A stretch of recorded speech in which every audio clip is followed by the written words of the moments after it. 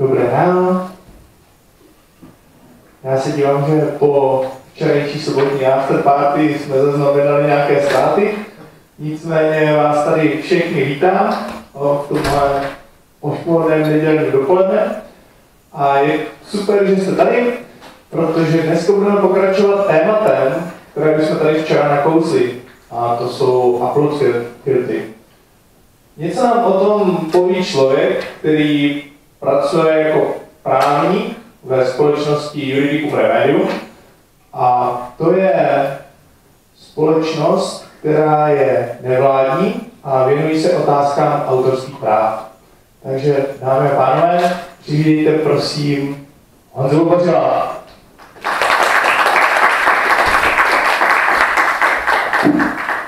Dobré ráno. Eh, já abych ještě uvedl naší organizaci, my už jsme byli založeni někdy v roce 2001, už tady jsme se věnujeme to problematice poměrně dlouhou dobu vedle autorských práv, kde hlavně se zabýváme třeba licencemi Creative Commons, ale právě v poslední době jsme se věnovali i hodně té nové autorskoprávní směrnici. Eh, se věnujeme i třeba problematice ochrany soukromí, každý rok vyhlašujeme ceny Big Brother Awards, jestli, jestli jste o nich slyšeli. Takže to jsou tady ceny pro největší slíděny na tom soukromí, věnujeme se i watchdogovým aktivitám, snažíme se sledovat eh, nějaké nové hrozby a nějakým způsobem na ně reagovat, ať už tím, že na ně upozorníme, nebo se snažíme prosadit nějakou změnu. Eh, pokud byste měli nějak větší zájem o naše aktivity, tak doporučuji kolegyně potom eh, vlastně u stánku, který je u kafe v té budově E, asi se nepletu, takže u kafe, u kafe máme stánek. Tak a teď jdeme k tomu tématu, proč jsme se tady dneska sešli. A to je tady autorskoprávní směrnice a implementace tedy případně těch upload filtrů do českého práva. Předpokládám, že když tady jste, tak, tak už něco o té směrnici víte nebo o tom problému potenciálním, takže já se úplně nebudu zabývat tím, za jakých okolností ta směrnice byla přijímána, bylo to opravdu velký boj, promítlo se do toho celá řada zájmů, ať už tedy těch nositelů práv, nějakých velkých společností, které prosazovaly co největší opatření v boji proti, proti piráctví, ale vůbec, aby získali co, nejví, co největší profit tedy z toho, z té reformy toho autorského práva.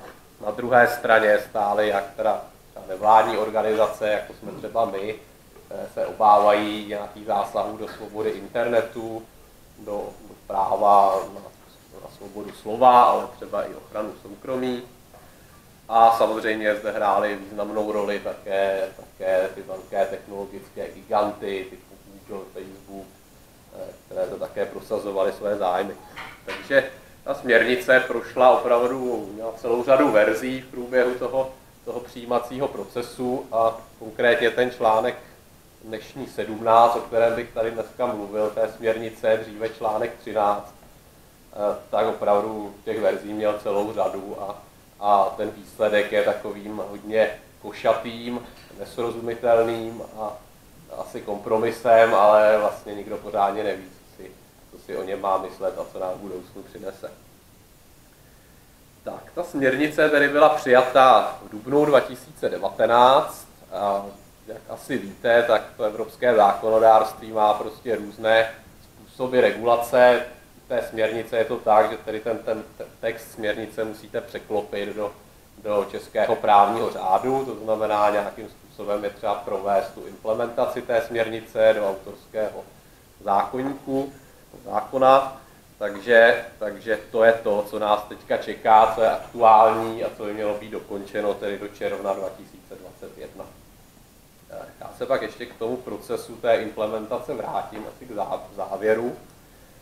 Teď bych teda se věnoval těm problémům, které potenciálně by mohl ten článek 17, 17 přinést. Tak, zásadním tématem tady je vlastně otázka odpovědnosti poskytovatelů těch služeb.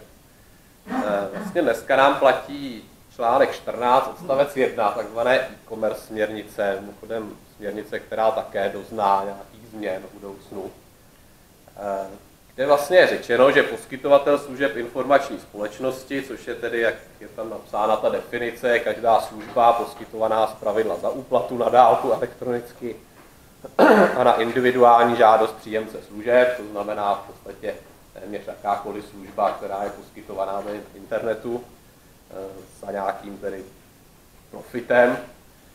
Eh, takže tedy zde ten poskytovatel služeb neodpovídá za případné porušení autorských práv, s výjimkou, pokud tedy byl seznámen s protiprávností a na výzvu nějakým způsobem na to, na to, na to reagoval. To znamená, typicky máte třeba třeba ulož to, pokud se tam objeví nějaký film, tak nositelé těch práv, to znamená většinou ten kolektivní správce, který zastupuje ty nositele, eh, Bília, osloví to, to ulož to, objevil se tam film, eh, odstraňte to, oni by to měli to nejrychleji odstranit. Samozřejmě s tím je spojen problém, že ty kopie toho filmu se tam objeví v zápětí znovu a tím pádem ten nástroj z pohledu těch nositelů práv není samozřejmě příliš efektivní.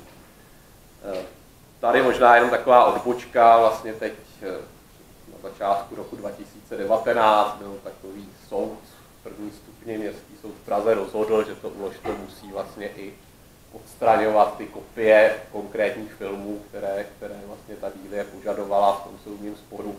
Takže musí i zabránit tomu, aby, aby se dále bylo možno je vyhledávat, kdyby je tam někdo nahrál, nahrál na Tady ten, to je zatím taková první vlaštovka, která trošku jako naznačuje už nějaké upload filtry i podle té stávající úpravy. Eh, na druhou stranu už to se odvolalo, leží to teď na vrchním soudě v Praze, takže, takže uvidíme, jak to budou rozhodovat ty další, další stupně, protože by to byl takový průlom, že nepochybně, nepochybně to to se tomu bude věnovat velmi, velmi důkladně. Tak, to je tedy ten stávající stav odpovědnosti poskytovatelů. A co nám přináší podle toho nového znění, tedy ten článek 17 odstavec 3 směrnice. Ten najednou nám tedy nemluví o poskytovatelích služeb informační společnosti, ale zavádí, zavádí vlastně nový pojem poskytovatel služeb pro sdílení obsahu online. A překlápí se nám to tady tak, že tenhle poskytovatel nově tedy odpovídá za ten nahraný obsah s výjimkami tedy pokud. A teď je to kumulativní, jo? Všechno, všechno musí následné splnit, aby aby, aby neodpovídal tedy za to případné porušení autorských práv. To znamená, musí vyvinout nějaké dostatečné úsilí k získání licence k tomu, aby to dílo bylo nahráno, aby mohlo být přístupněno veřejnosti na té jeho službě. Eh, měl by zabránit opakovanému nahrání autorských děl po smazání na žádost nositele práv. To znamená, to je ten systém, o kterém jsem tady mluvil, nahlásí, nahlásí ten nositel práv nějaké to dílo, které, které je jeho, Eh, ten poskytovatel ho smaže, ale tady nově by měl tedy zabránit, zabránit tomu, aby tam bylo nahráno znovu. A zároveň tedy ještě na, zabrání nahrání děl, kterému oznámí nositel práv dopředu. Jo, to znamená právě to opakované nahrání, případně nahrání nějakých děl, které jsou oznámeny dopředu, tak to je to, co otevírá potenciální prostor pro potřebu těch upload filtrů. Protože samozřejmě ve chvíli, kdy budete budete muset zabránit tomu, aby vůbec vám někdo na, na, něco na ten server nahrál, eh, tak musíte tedy nějakým způsobem přijmout opatření, nějaká technická, protože samozřejmě lidská obsluha to v nějakém reálném čase nebude schopna zvládat. A ta technická opatření by měla být zřejmě ty upload filtry. Neumím si úplně představit nějakou, nějaké jiné řešení. Tak, teď se ještě zastavíme u toho pojmu poskytovatel služeb sdílení online, který najdeme vydefinovaný v tom článku 2, odstavec 6, té směrnice. Tak, kdo to vlastně je? Tady o tu definici se také sváděly velké boje, to znamená, to se pak odrazilo hlavně v tom, kdo vlastně tím poskytovatelem není, což je jakýsi výčet na konci tady toho odstavce 6. Tak, je to tedy poskytovatel služeb informační společnosti, jeho hlavním účelem teda té činnosti by mělo být uchovávat velký počet děl chráněných autorským právem, nahrávaných uživateli a zpřístupňovaných veřejnosti. To znamená, že sem třeba asi nebudou patřit nějaké, nějaké třeba služby, kde si ukládáte jenom své věci pro svoje potřeby, cloudové, cloudové úložiště a podobně, ale jakmile to bude zpřístupňováno veřejnosti, tak, tak tahle podmínka bude splněna. Díla by měla být nějakým způsobem uspořádána a propagována za účelem dosažení zisku. Takže mělo být to nějaký, to nějaký ziskový projekt. Otázka je samozřejmě, co to je ten účel dosažení zisku. Běžně prostě samozřejmě na tom internetu se těží z prodeje reklamy, ale ty, ty modely podnikání můžou být samozřejmě různé, takže, takže může to být opravdu široký, široké pole, ať už třeba, že chcete, chcete, aby vám lidé posílali dobrovolné příspěvky na tu činnost, jo, skutečně představivosti se meze nekladou, aby se by to musel vyložit potom soud nebo případně nějakým způsobem to specifikovat v té české implementaci. Eh, uspořádání a propagace, tak uspořádání si představuji tak, že tedy nějakým způsobem ta díla tam bude, bude možno vyhledávat, budou v nějakých rejstřících, budete moci nějakým způsobem tedy zjistit, kde jsou. Eh, což třeba pokud, pokud se máme třeba úložnu, tak pokud jim tam jako vyhledávat nemůžete, jenom vy zadáte to URL, tak se vám objeví, objeví to konkrétní dílo, takže tam třeba už tahle podmínka podle mě třeba splněna nebude, že by to bylo nějakým způsobem uspořádáno a třeba tam potom ten poskytovatel spadat nebude. Tak a kdo, kdo přímo tedy z té definice není tím poskytovatelem? Tak nejsou to neziskové online encyklopedie, tak tady vlastně tuhle výslovnou výjimku si samozřejmě eh, vyzdorovala Wikipedie. Eh, nezisková vzdělávací a vědecká úložiště, platformy pro vývoj a sdílení softwaru s otevřeným zdrojovým kódem, poskytovatelé služeb elektronických komunikací, online tržiště, mezipodnikové cloudové služby a cloudové služby, které uživatelům umožňují nahrávat obsah pro vlastní potřebu. Eh, tady bohužel jako u té směrnice úplně, úplně jako mi chybí tady nějaká důvodová zpráva, konkrétně třeba tady k tomu článku, vlastně co třeba je to poslední. Uživatelé umožňující nahrávat obsah pro vlastní potřebu, tak to nakonec jako umožňuje, umožňuje třeba i to vložto, můžete si tam nahrát obsah pro vlastní potřebu, jo? ale takhle určitě to myšleno nebylo, jako právě ta, ta, ta směrnice nebo tohle ustanovení, ten článek 17 mělo mířit na služby typu, typu uložto, takže, takže je otázka, jakým způsobem vlastně v praxi toto bude, bude vykládáno nebo, nebo implementováno. Tak na co si teda potom ten poskytovatel musí odpovědět? Tak první otázka vůbec je celkem obtížná, jestli vůbec spadá do té definice tedy toho poskytovatele, jestli ten článek 17, ty povinnosti se na něj vztahují. Pokud ano, tak si musí říci, jestli vyvinul dostatečné úsilí k tomu, aby získal tu licenci. Zase, co to bude to dostatečné úsilí? Musí nějakým způsobem aktivně zjišťovat, kdo je nositelem těch práv, a teď opravdu nejde jenom o nějaké filmy, které se někam nahrávají, ale každá fotografie je autorským dílem. V podstatě měl by vyvinout nějaké úsilí, aby zjistil, kdo je nositelem práv té konkrétní fotografii. No a co to úsilí bude obnášet, to samozřejmě jako je otázka a může to zcela nějaké ty služby paralizovat. Eh, dále si musí odpovědět, jestli, jestli tedy zjistil, kdo je tím nositelem, jestli má uzavřenou licenční smlouvu, jestli má svolení s tím, aby aby to tam bylo publikováno. Pokud ano, tak, tak dále už ho to zajímat nemusí, pokud ne, tak potom musí tedy zamezit dostupnosti děl, o nichž eh, byl informován těmi nositeli práv, to znamená, zřejmě se vytvoří nějaká veliká databáze děl různého druhu, kde ti nositelé práv budou prostě informovat tohle dílo, nepřejeme, aby bylo zveřejňováno, případně prostě s námi spojíte uzavřeme licenci, takže eh, ten poskytovatel těch služeb potom bude muset překlopit tuhle, tuhle tu informaci do těch svých vyhledávacích filtrů a zamezit nahrávání dostupnosti těch děl. Tady je potřeba říct, že to dílo může být opravdu jako široký pojem. To dílo není jenom nějaký ucelený film, to dílo může být i část toho filmu, nějaká scéna, scénická hudba, v podstatě cokoliv. Jo? Takže máme určité výjimky, kdy, kdy nemusíte tedy třeba tu licenci získává, tak to jsou citace třeba, ale samozřejmě ty technické upload filtry s tímhle můžou mít docela zásadní problém a ty věci, kde se prostě bude objevovat nějaké části třeba filmu, tak dál pouštět nebudou. Tak, dále potom, aby byl ten dotyčný dostatečně schopen rychle reagovat tedy na žádosti o odstranění těch děl a aby zamezili jejich opakovanému nahrání, to znamená zase se vracíme tedy k těm upload filtrům, pokud smažeme nějaké dílo, musíme zabránit jeho opakovanému nahrání. A teď je zase otázka, pokud jsem smazal třeba celý film, musím zabránit nahrání zase toho celého filmu, nebo i všech jeho částí, nebo čemu vlastně. No, takže zase bude potom, potom na tom, na tom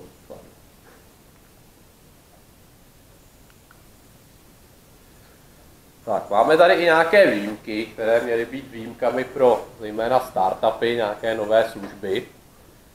A týká se to právě, jsou to výjimky z té povinnosti zabránit tomu nahrávání těch děl.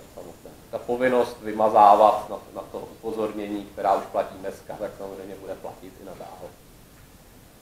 Tak a kdo tedy, kdo tedy jakou výjimku má? Tak pokud je poskytovatel, který působí na trhu v Unii méně než 3 roky a zároveň tedy má roční obrat méně než 10 milionů euro, tak po ty 3 roky může tedy mít výjimku z toho, z toho zpětného nahrávání. Nicméně samozřejmě asi, když si někdo zakládá nějaký startup, tak si ho nezakládá na to, aby, aby ho měl 3 roky, ale od začátku prostě nastaví, nastaví ten systém tak, aby prostě i po těch třech letech nějakým způsobem mohlo fungovat. Takže, takže nemyslím, že je, to, že je to výjimka, která úplně bude, bude platnitelná v té praxi.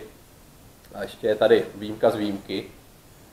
Eh, pokud ten dotyčný má více než 5 milionů unikátních návštěvníků měsíčně, tak stejně musí zabránit nahrání děl, o nich byl informován těmi nositeli práv. No, takže to je tedy výjimka. výjimky. Tak a tady, tady se dostáváme k těm upload filtrům, povinnost tedy zabránit nahrání určitých děl a opakovanému nahrání děl, která je odstraněna, tak vede tedy k nějaké nutnosti filtrovat ten nahraný obsah, eh, pokud se chce ten poskytovatel tedy vyhnout odpovědnosti za možné porušení těch autorských práv.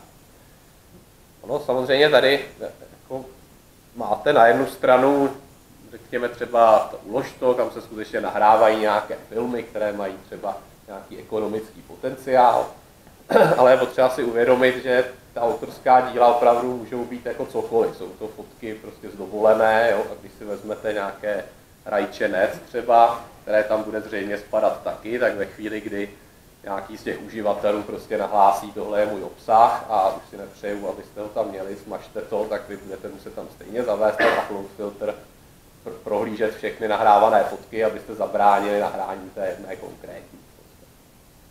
Jo, to, by byl, to by měl být jakoby ten legální postup. Samozřejmě, když to ten dotyčný neudělá, tak eh, bude v rozporu s právem. Je otázka, jaké to může mít na něj dopady.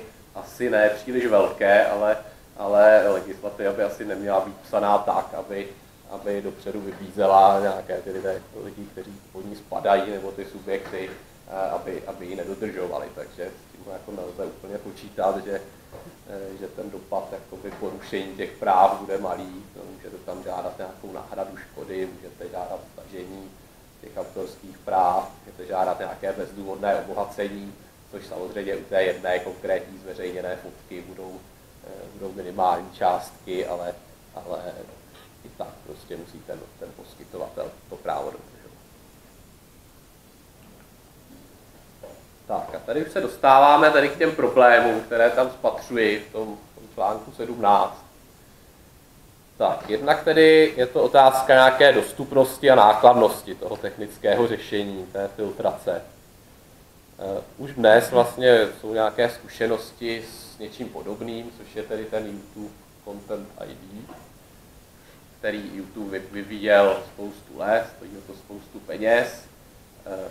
Pokládám, že asi víte, jak to funguje, tak jenom pro někoho, kdyby tu byl, kdo neví, tak, eh, tak eh, je to vlastně technologie, která umožňuje těm nositelům práv, po tom, co prokáží tedy, že jsou nositeli práv, eh, tak nějakým způsobem říci, co žádají, aby se s tím jejich nahlášeným dílem dělo, kdyby se tam mělo nahrávat, může se buď zamezit tomu nahrávání, nebo můžou mít třeba nějaké profity z reklamy, když se to dílo nahraje, No, takže jsou tam i možnosti nějakým způsobem třeba přistoupit na tu hru a těžit, těžit finančně z toho, eh, z toho, eh, z toho finančního, z toho potenciálu toho filmu, ne přímo bránit tedy tomu, tomu zveřejňování. Nicméně samozřejmě je to, je to technologie, takže má, má svoje mouchy, to znamená, typicky prostě to nepozná nějaké parodie, karikatury, memy a podobně, všechno, všechno to bere jako, jako porušení toho autorského práva. A tím se vracíme k tomu článku 17, právě tohle byl argument vlastně ještě v době, kdy, kdy ten článek původní 13 byl mnohem kratší, že tam nejsou výjimky třeba pro ty parodie, pro ty karikatury a tak. Ta výjimka se tam dostala do toho, do toho textu, ale samozřejmě je otázka, jestli vůbec je nějakým způsobem naplnitelná technologicky. No, já jsem právník a nevím, jestli technologicky, technologicky to možné je, to budete vědět vy spíš, ale co teda o tom jsem se dozvěděl a načetl, tak to asi bude hodně složité a jako technologie, která dokáže rozpoznávat humor, eh, asi, asi jako zatím úplně k dispozici není. To je otázka, jestli někdo bude schopen vůbec někdy vyvinout. Jak, jak to dělají prostě ty vlastníci těch práv, že řeknou, tohle je naše dílo. Oni musí prokázat, které jejich dílo to teda je, nebo to by podle mě měli. Měli by to, protože- měli by to prokázat. No. Ono jako, jako v podstatě se řeší, že jo, hlavně prostě hudba a filmy. Jo, a řeší to ti vel, velcí prostě buď kolektivní správci, nebo nějaká ta velká studia, která prostě na to mají nějaké mechanismy, jak, jak prostě pro, prokáží, že, že jsou držiteli těch práv. Protože oni když jako řeknou, my jsme držiteli práv, a řeknou tady tomuhle dílu, ale neřeknou prostě, jak se to jejich dílo jmenuje a ve skutečnosti je to úplně něco jiného, že se ten jejich program spletl, tak No, oni by mě měli, oni by měli i poskytnout prostě nějaký, nějakou technologickou prostě podporu těm poskytovatelům, jo, typu, že jim prostě předají v podstatě to dílo, předají jim nějaký metadata k tomu dílu, jo, takže tam je jakoby zavedena povinnost téhle součinnosti. No. V České republice ti poskytovatelé dostanou ta metadata teda od českých, už tam, od českých uh, těch združení autorů. Jako pořád se to řeší, samozřejmě jako můžete mít někde právo, někde licenci v nějakém státě k tomu, k tomu vysílání, nebo k tomu zpřístupnění, někde jinde ne, takže řeší se to pořád jakoby na té národní úrovni. Ale samozřejmě smyslem té směrnice je to co nejvíc prostě sjednocovat. Vzpomenu na jednu věc, která se dělá, že eh, některé třeba fotobanky, že posílají výzvy k eh, vydání kulturního bohacení z který vůbec eh, práva nevykonávají. Třeba vzali prostě města a tvrdili, že to je jejich a posílali to zaplaťte 8 tisíc za fotku a podobně. No. Takže tvrdili, že, že jsou, že jsou autoři, že za to bylo autory, ale že to nebyla vůbec pravda.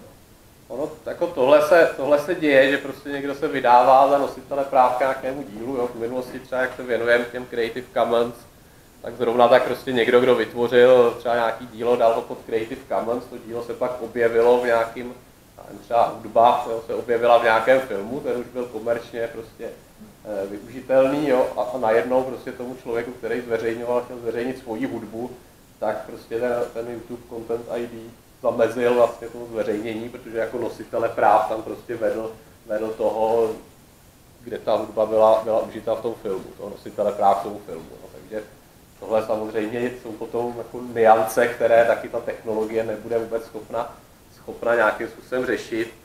Eh, Zase ten, ten článek 17 tam má jako nějaký nápravný mechanismus, je tam řečeno, že musí být zavedena nějaká efektivní možnost nápravy, rychlá, jo, že se to nakonec musí posoudit člověkem a podobně.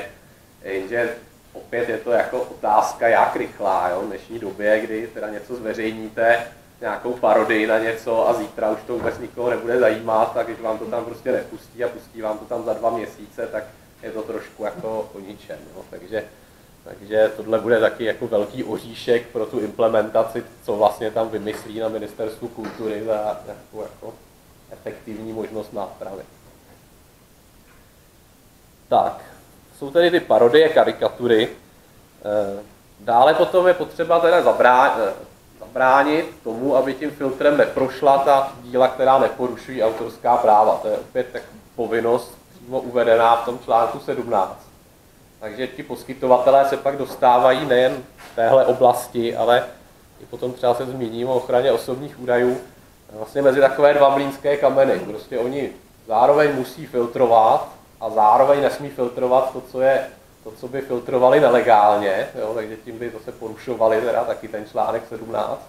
Takže oni musí přesně vlastně vždycky odhalit to, co tam být nemá a naopak tam pustit to, co tam být může, což jako technologicky asi je nemožné a, a v podstatě jako tady někdo vymyslel prostě změní, které jako zní velmi šalmounsky vyhovím prostě všem, všem stranám, eh, ale je to jenom prostě na papíře. Je to článek, který jako pokud byste nevěděli, že to bude muset nějak fungovat v praxi, tak vlastně třeba nevypadá zase tak hrozně, ale, ale prostě ta praxe, tak jako ty lidé, kteří by to měli nějak implementovat, se toho oprávněně děsí.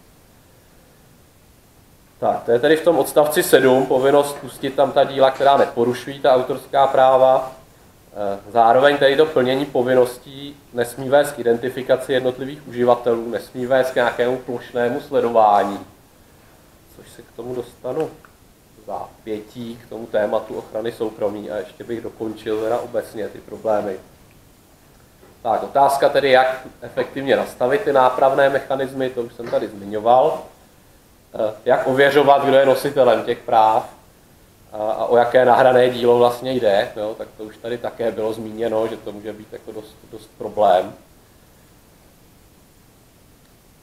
A pak samozřejmě takové obecné riziko vlastně rozšiřování účelu toho filtrování do dalších oblastí. Jo, jedna oblast jsou autorská práva, ale pak tady máme eh, porušování dalších práv, ať už jiných právních předpisů, ale pak tu máme třeba nenávistné projevy, což je takový jako široký pojem, kam dneska už se schová kde co. A samozřejmě jako pokud se začnou ty filtry třeba uplatňovat na toto, tak to významně omezuje. Omezuje svobodu projevu vůbec na, na internetu. No a pak samozřejmě se nabízí nějaká politická cenzura, náboženská cenzura, kde co si vzpomenete, my už s tím máme takové zkušenosti právě třeba z oblasti ochrany soukromí, kde prostě nejčastějším důvodem, proč se zavádí nějaké mechanismy, jako oblíbeným zdůvodněním je boj proti terorismu, boj proti dětské pornografii a tak dále, což jsou takové jako věci, na kterých všichni se shodneme, že je dobré bojovat proti terorismu i dětské pornografii, ale bohužel to často je to využíváno i za úplně jinými účely a to je problém. Takže je to trošku taková pandořina skřínka ve chvíli, kdy prostě už budou ty upload filtry existovat, tak se určitě najde mnoho dalších důvodů, jak, mnoho dalších způsobů a důvodů, jak proč je využívat. Tak to je schrnutí těch problémů. Eh, dále se věnoval otázce ochrany osobních údajů, což myslím je, nebo ochrany soukromí, což v té debatě úplně nezaznívalo, si myslím, ale je to také téma, které, které je relevantní.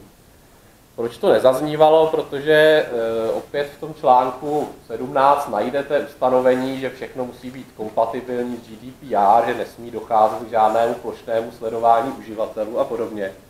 Ale opět, jako když si vezmeme tu praxi, tak, tak pokud bychom to chtěli opravdu dovést do praxe, tak, tak jsou tam najednou, najednou problémy. To znamená, pokud budete mít ty upload filtry, tak prostě musíte nějakým způsobem prohlížet ten nahrávaný obsah, jo, ať už nějaká metadata, nebo přímo ten obsah, jo.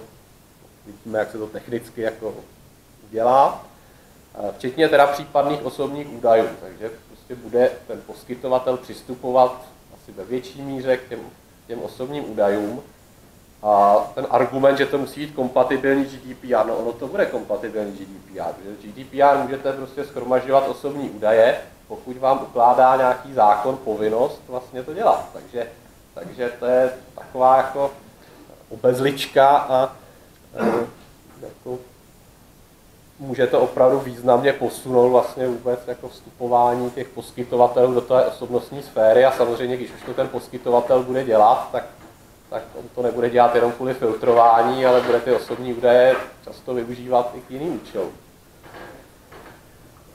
Tak dále třeba je tu ta povinnost vyvíjet dostatečnou snahu k uzavírání těch licencí, což je zase podmínka, abyste se vyvinili, abyste zabránili té možné odpovědnosti. Jo? Vy můžete mít ty upload filtry, ale stejně musíte prokázat, že jste vyvinuli dostatečnou snahu k tomu, abyste uzavřeli tu licenci, abyste získali to svolení. To znamená, zase je tam nějaká nutnost zjistit vlastně, kdo je nositelem práv, teda, kdo, s kým vlastně máte jednat případně uzavírání té licence, takže zase nějaký zásah, zásah do soukromí, identifikace prostě těch uživatelů nebo těch nositelů práv. No a poslední věc, která mě také k tomu napadla, je otázka eh, vlastně šifrování. Pokud, pokud budete šifrovat nějaké, nějaké soubory, které někam nahráváte, vlastně ten poskytovatel nebude schopen nějakým způsobem identifikovat, co je obsahem toho šifrovaného souboru. Ale ten článek 17 neříká, že by se to netýkalo šifrovaných souborů. Jo, on musí, musí zabránit prostě nahrávání těch děl. To znamená, může to vést k tomu, že prostě bude zakazovat nahrávání šifr, šifrovaných souborů, tím pádem zase nějaké opatření, které jde proti vlastně nějakému trendu ochrany, ochrany dat. No, ale když je ten soubor šifrovaný, tak může to přece soukromý obsah a to je z toho přece vyňaté. Ne? No, jako to šifrování může to být samozřejmě jako přístupný veřejnosti, že můžete někde nazdílet nějaký heslo, ale tak to heslo neuvidí přece všichni, to je, že potom nějaká, nějaký omezený okruh lidí, to tak není co to je veřejnost. přístupné veřejnosti? Jo? Přístupné veřejnosti podle mě je, když si to může prostě stáhnout pár lidí jako jiných než vy. Jo? Zase to bude jako na tom, jak, jak, ta, jak ta praxe, ta aplikace to bude, to bude posuzovat, ale podle mě jako šifrovaný soubor, který je prostě dostupný, dostupný někde a někde jinde získáte k němu ty přístupové údaje, pokud si to může stáhnout dokoliv, tak je to prostě dáno k dispozici veřejnosti. Jasně, no tak jako pokud to přečte, jo, pokud se dostane k tomu obsahu, jo, jde o to, jestli se dostane k tomu obsahu, jo, ale asi není problém prostě někde si jinde nazdílet nějaká, nějaké údaje, které potřebujete k tomu rozšifrování.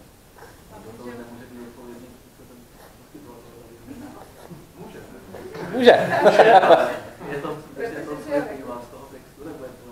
Z toho textu vyplývá, že nesmí dát, nesmí prostě zpřístupnit to dílo.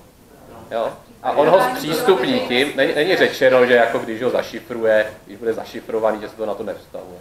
On ho zpřístupní. Jo, ale jako nechci zase jako šířit nějaký poplašní zprávy, je samozřejmě otázka, jak se to jakoby implementuje. On je tam jako, že musí přijmout opatření, eh, nějakém, jak je to tam přesně řečeno. Počkejte, tady jsem to někde. Jo, výklad pojmu v souladu s vysokými odvětvovými standardy odborné péče, jo, takže jsou tam takové jako vágní pojmy, eh, které samozřejmě můžete vykládat různě. Jo. No, jako je otázka, prostě co to bude. Možná, že jako standardy odborné péče bude, že jako když je to šifrovaný, tak je to v pohodě. Jo. Ale já si spíš myslím, že ne, protože to je vlastně díra, kterou byste mohli jako ten článek úplně obejít. Jo. Takže, takže myslím si, že na to se to bude vztahovat taky. ani nemusí být šifrovaný, stačí, když to rozdělíte, vygenerujete stejný soubor, náhodný, stejně velký, proženete to funkcí XOR, máte dva, dva totální zmatky, nečitelné, a když se spojí celá, tak máte zpátky původní data. Jsou to nezávislé jako tohle, tohle úplně s váma jak polemizovat nebudu, Ne, jasně, no, ale to jako jasně. vlastně jo, určitě jako se najdou cesty prostě. Jo. Tak a teďka trošku se zastavím u té implementace. Eh, Máme jednak nějak, nějakou, to znamená nějaké ty harmonogramy na úrovni Evropské unie. Možná jste zaznamenali, že, že Polská republika podala vlastně stížnost k soudnímu dvoru Evropské unie právě vlastně v těch částech toho článku 17, odstavec 1, eh, odstavec 4, eh, písmeno B, tuším, a písmeno C. Znamená jako úzce vlastně proti těm, tomu, co směřuje k těm upload filtrům. Eh, My jsme i psali nějakou k tomu takovou krátkou analýzu pro Pirátskou stranu, ta potom vlastně oslovovala, oslovovala premiéra a ministra kultury, aby jsme se připojili k té žalobě, což teda eh, se neudělalo, tak uvidíme, ale, ale je určitě dobře, že se to prostě před ten soudní dvůr Evropské unie dostalo a ten to nějakým způsobem bude muset, bude muset posoudit. Problém může být, s čím už jsme se setkali třeba u data retention, u toho sledování těch metadat, tak je sice pěkné, že Soudní dvůr Evropské unie zruší nějakou směrnici, která původně byla implementována do toho českého právního řádu. Jenže ty vlády vlastně potom nereagují na to, na to zrušení tím, že by se to mělo nějak změnit v tom českém právním řádu. Takže teďka máte třeba zrušeno to plošné sledování na té evropské úrovni, ten původní důvod, proč se to vůbec zavedlo do českého právního řádu, vlastně zmizel, ale v českém právním řádu už to je. Eh, My jsme dávali další ústavní stížnost, která, kterou rozhodoval ústavní soud červnu, tuším, v naději, že teda bude reagovat na to, že celá ta Evropa, na té evropské úrovni se to zrušilo, že tam jako pádné argu- argumenty k tomu, přesvědčilo to ten soudní dvůr Evropské unie. Bohužel náš ústavní soud to nepřesvědčilo ani se teda pořádně nevypořádal v tom rozhodnutí s tím soudním dvorem Evropské unie na našeho názoru, takže, takže to může být na to už pozdě. Jo? Soudní dvůr může říct za, za rok, za dva, že tedy směrnice, směrnice je neplatná, že ji ruší pro rozpor s nějakými základními právy, zanesenými v listině základních práv EU, ale my už to budeme mít v autorském zákoně a už s tím nikdo nic neudělá. No, takže tohle je, tohle je riziko.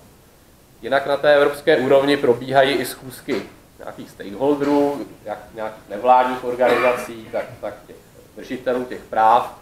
Zatím, pokud vím, proběhla jedna a, jsem pochopil z těch zpráv, tak v podstatě to bylo jenom, že jedna, jedna strana mluví o voze, druhá o koze a žádnému jako kompromisnímu řešení nebo návrhu, jak by se to vlastně dalo aplikovat v praxi, to zatím úplně nesměřuje. V České republice tedy máme provést tu implementaci do roku 2021. Eh, provádí to Ministerstvo kultury. Ono si vlastně rozkouskovalo tu směrnici do jednotlivých článků, to znamená, třeba my jsme se přihlásili, že nás zajímá ten článek 17, teda k tomu jsme se nějakým způsobem chtěli vyjadřovat. Eh, zatím vlastně, pokud jde o ten článek 17, tak probíhá nějaké mapování stavu, což dělá nějaká společnost EEIP, eh, s kterou jsme se teda taky sešli třeba a opravdu oslovila zjevně jako docela hodně těch, těch zainteresovaných subjektů. Eh, a jejich cílem je vlastně zmapovat vůbec to názorové spektrum a tu stávající praxi. V listopadu by tedy měla předložit nějakou, nějakou konečnou verzi nějaké té své analýzy. Pak by měly probíhat nějaké kulaté stoly a z informací tedy z Ministerstva kultury to připomínkové řízení by potom mělo probíhat v létě 2020 a někdy koncem roku 2020 by teda případně tady to mělo dostat do, do parlamentu. Takže to je tady ten harmonogram té implementace.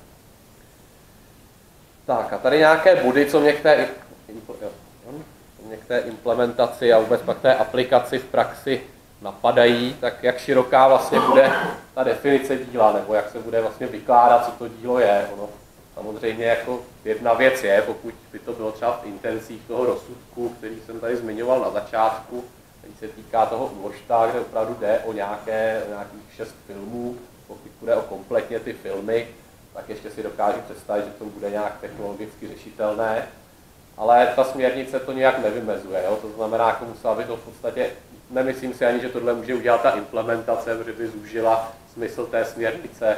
Musela by to udělat až nějaká soudní praxe, která by došla třeba k tomu, že se to nevztahuje na nějaká díla, eh, kde prostě žádný problém není. No, typicky prostě třeba nějaké ty fotografie, což jako je obecně problém vlastně toho autorského práva dnes, že je prostě chráněno úplně všechno a a i prostě u autorů, kteří vůbec neočekávají žádný finanční profit, ale prostě pro ně je mnohem zajímavější eh, like na Facebooku a vlastně co největší šíření toho díla, tak pokud nevyužívají třeba ty licence Creative Commons, tak, tak vlastně ta úprava jde proti jejich zájmům. A takových děl je vlastně asi většina. Jo. Každá fotografie je prostě autorským dílem, každý text text, který má nějakou myšlenku, je autorským dílem, takže, takže tohle samozřejmě může být jedna otázka. Eh, jakým způsobem budou nositelé informovat poskytovatele o, díle, o dílech, která mají učinit nedostupnými, to znamená, jaká, jak se vlastně vytvoří nějaká ta databáze, kdo ji vytvoří, kdo ji povede, jestli každý poskytovatel bude mít nějakou svoji databázi, budou to muset ti nositelé oznamovat každé databáze všech těch děl, která mají z toho vyjmout. Takže další otázka. Eh, potom je to otázka vlastně získávání těch licencí. Asi je samozřejmě nereálné, jako aby získával, získával ten poskytovatel licence opravdu od všech těch autorů, no, aby uzavíral nějaké licenční smlouvy se všemi nositeli práv, třeba u těch fotobank, kam prostě nahráváte nějaké fotky z dovolené. Jako úplně nevidím jako reálné. A vlastně se tady nabízí, jestli to celé nevyřešit zase nějakou kolektivní zprávou. Jo? Že by prostě byla nějaká povinná kolektivní zpráva, nějaký kolektivní správce uzavře, uzavře se všemi, kdo se přihlásí těmi poskytovateli, jakoby souhlas za všechny ty nositele. A vlastně pak ani nemusí dojít na ty upload filtry, protože všechno se bude nahrávat legálně. Asi je to nesmysl dle mého, takhle, takhle to asi řešit úplně, úplně nepůjde. A otázka je, otázka je, jak by se to pak třeba rozdělovaly ty peníze. Zase jako obecně problém té kolektivní zprávy dnes vidím v tom, že jako peníze vybírá esky, ale, ale jako dostávají se jenom nějakému zlomku těch, těch autorů těch děl, za něž ty peníze vybírá. A tady by to bylo samozřejmě ještě mnohem, mnohem jako více prohloubené. Navíc pokud by se to řešilo takhle, tak v podstatě i jako nahrávání nějakých nových hollywoodských trháků by teda pak bylo legální, což by se odráželo zase na ceně že jo, té licence, takže, takže myslím, že tohle by, tohle by jako asi nebyla úplně schůdná cesta, ale byla by to cesta, jak se vyhnout těm upload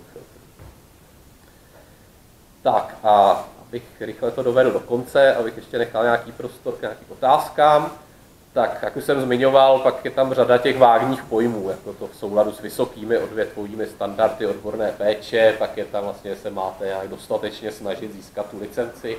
To jsou všechny pojmy, které nakonec by musel vyložit soud, jejich obsah a samozřejmě vnáší obrovskou právní nejistoty pro, pro ty poskytovatele, kteří mají ta pravidla dodržovat.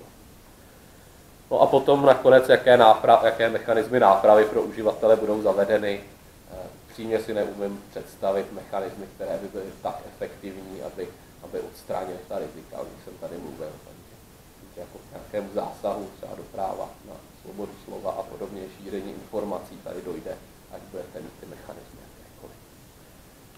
Tak já děkuji za pozornost a jestli nějaké dotazy máte ještě. Já bych zeptat,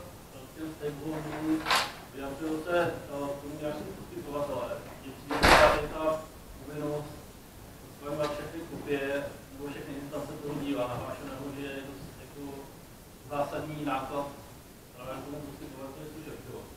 Jasně. To musí řešit on a místo toho by teoreticky by to měl řešit ten vlastník těch práv.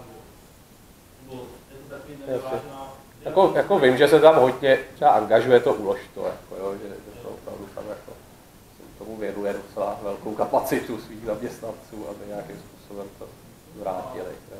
Jinak jako nevím, nemám přehled, to by dělá ta společnost, jako kdo všechno, spíš ministerstvo kultury, kdo všechno se tam přihlásil. Já tady mám hned několik dotazů, kdyby někdo měl méně dotazů, tak se rychle přihlaste.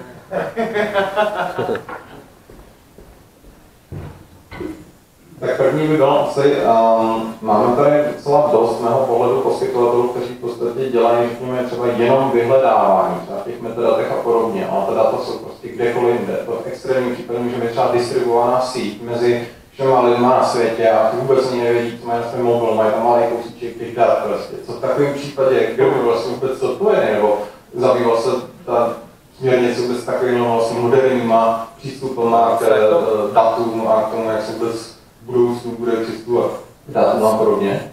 Já se jakoby vrátím prostě k té definici. Jo. To znamená, jestli prostě ten, ten dotyčný poskytovatel služeb se prostě vejde do tohohle, tak jako ano, pokud, pokud ne, tak ne. Jo. A, e, Otáz, může být prostě problém jako v tom druhém bodě, jo, co to je vlastně uchovávat velký počet děl, jo.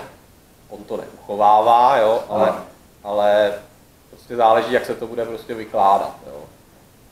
Myslím, myslím, že to, jako, nedám vám asi jako jasnou odpověď, ale, ale myslím, že, myslím, že jako ten výklad asi bude i prostě na tyhle ty distribuované systémy, že se to hmm. prostě vztahovat bude, protože eh, jinak je to zase prostě cesta, jak vlastně celou tu, celou tu úpravu asi obejít.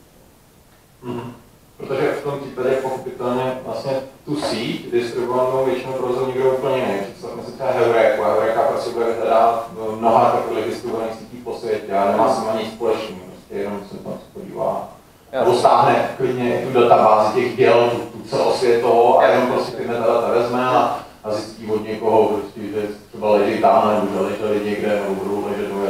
Tak já myslím, že, že jako tam právě asi se to bude řešit i z toho pohledu, že vlastně to uspořádávání, že ho dělá až potom třeba ta heuréka, jo. A. To znamená, dalo by se to vlastně, jako pokud, pokud bychom přistoupili na to, že ta heuréka třeba ten poskytovatel není, a není to pak ani ten, kde jsou ta zdrojová data, protože to vlastně neuspořádává, hmm. jo, tak by se to vlastně roz, rozdělil teda jednoduše teda na dva subjekty, fungovalo by to pořád stejně a ten článek byste úplně vykostil. Takže, takže si myslím, že jako ten výklad asi bude, asi bude spíš, že, že jako se to vztahuje, jo? pokud teda nechcete šalamounsky jako úplně ten článek obejít, což by bylo úplně nejlepší.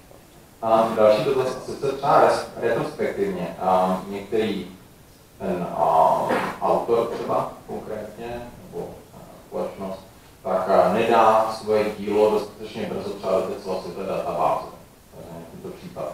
A já jako poskytovatel, tak já ho tím pádem nefiltruju, prostě neřeším a tak dále, jsem ale v souladu s těma, těma požadavky, prostě nejlepší to filtrování na světě a tak dále. A se ozve po dvou letech a chce po mně retrospektivně prostě na náhradu škody a chce prostě po mně, abych to a všechno možné. Je možný to v takovém případě podle té směrnice, řekněme? No, tam si myslím, že, že byste se držel vlastně v tom, v tom článku 14 e-commerce směrnice, že vlastně to, ta odpovědnost nastupuje až v případě, že porušíte vlastně, vlastně ty povinnosti. Jo. To znamená tady vlastně žádnou povinnost. Pokud jste se snažil získat licenci, pokud to nebylo v žádném tom seznamu, pokud jste nebyl informován, že to tam nemáte mít, a pokud jste včas reagoval, když on se ozval a chtěl to smazat, tak vlastně nemáte tu odpovědnost za to. Jo? To znamená, musel by se obrátit na toho uživatele, který to tam nahrál. Tak já děkuji za, za dotazy, za přednášku. Taky děkuji. A vidím se.